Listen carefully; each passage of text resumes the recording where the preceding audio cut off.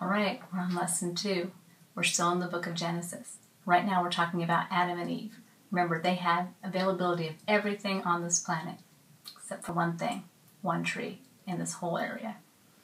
So, God placed the first man, He created a beautiful garden and gave him the job of caring for it. God told Adam that he could eat every tree except for the knowledge of the tree of the knowledge of good and evil, and that if he ate from that tree, he would die. God brought all the animals and birds to Adam for him to name. God created Eve from Adam's rib to be his wife and helper. Then Eve goes over to the tree.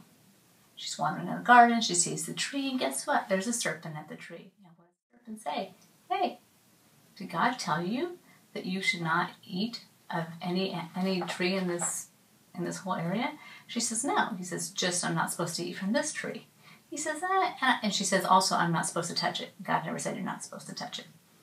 So he's like, Hey, you know, if you eat of it, you're not actually going to die. Um, you're just going to be you're going to be fine and you're going to be smart just like God. That sounds great. I want that. She takes a bite of it. And Adam is apparently near her because it says, and she turns to Adam or something like that, something to that effect, and says, Hey, this. And he knows what it is, and he takes a bite and eats it. When they eat it, all of a sudden, knowledge of something has come into their head, and they realize, um, we're naked. Okay, so they decide to go ahead and take fig leaves and cover themselves. And they're hiding from God. Apparently, God takes walks in the evening through the earth. It talks about that in Genesis. And he's walking along and he's like, Where are Adam and Eve? He knows where they are. But he calls to Adam. And he's like, Adam, where are you? Adam and Eve are hiding. They say, Hey, we're hiding because we were ashamed of our nakedness. And God's like, How did you know you were naked? They disobeyed and ate the fruit. She gave some to Adam, who also ate. In guilt and fear, they covered themselves. When God questioned them, Adam blamed Eve, and Eve blamed the serpent. serpent. Adam actually said, This woman that you made for me, she told me to eat it. Nice. and Eve goes, Well, that serpent, he tricked me.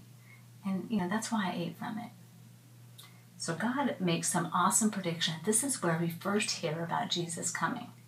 This is when he starts telling Satan, who is disguised as a certain serpent or something like that.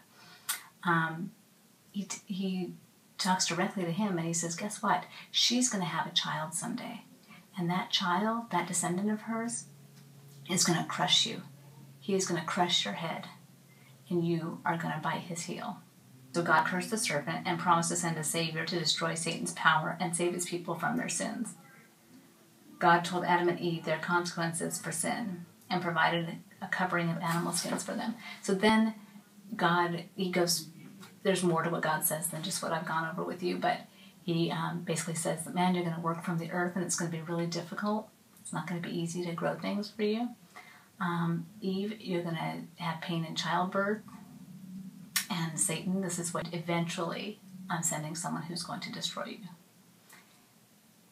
And Adam and Eve, initially when they were created, weren't going to die. But they ate from that tree, and instead of dying at that moment, they began the process of aging and dying. Answers in Genesis. Um, .com does a really great job of going into all the detail on this. If you want more information, there will be information under the videos and also are, they're cursed and they're sent out of that particular area, the Garden of Eden. They're sent out of that, and God puts angels, cherubim, He says, um, a special type of angel to guard the gate to the Garden of Eden, and a flaming sword that goes back and forth so they can't go back there anymore. So that is the story of Adam and Eve.